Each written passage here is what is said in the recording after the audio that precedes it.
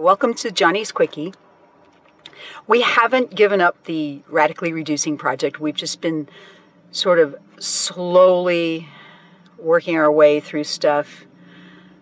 Uh, the move to Kansas was a pretty huge move, and a lot of our stuff is down in the basement. Once we got to Kansas, there were some things that were supposed to be sent back out to the world and I finally took care of these things. We had a jacket that the housemate accidentally left in the moving truck. It's been in the house for over a year. It's been in a box waiting to be sealed up and mailed, and we've just put it off and put it off. I have finally put it in a box, taped it up, and shipped it off back to where we came from in Phoenix. The other thing is, I had uh, some sympathy cards and the funeral book from my grandfather's funeral that I got from my mom and dad when we were going through their estate.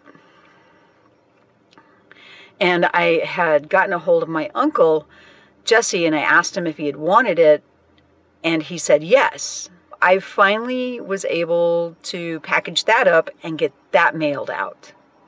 So those two items went off back out into the world.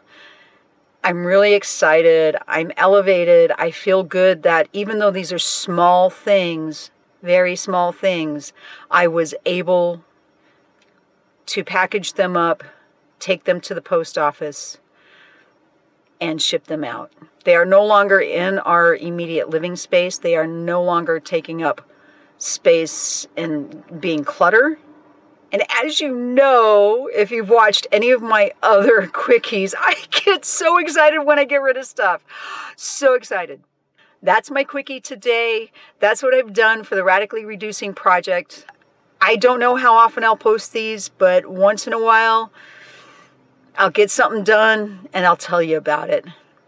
Thanks for watching. I'm Johnnie and I'm one half of the Artistic Nomads. So you can subscribe to this channel. You can like this video. You can share it with your friends. Let's do some of that. Show the Radically Reducing Project some love. Bye.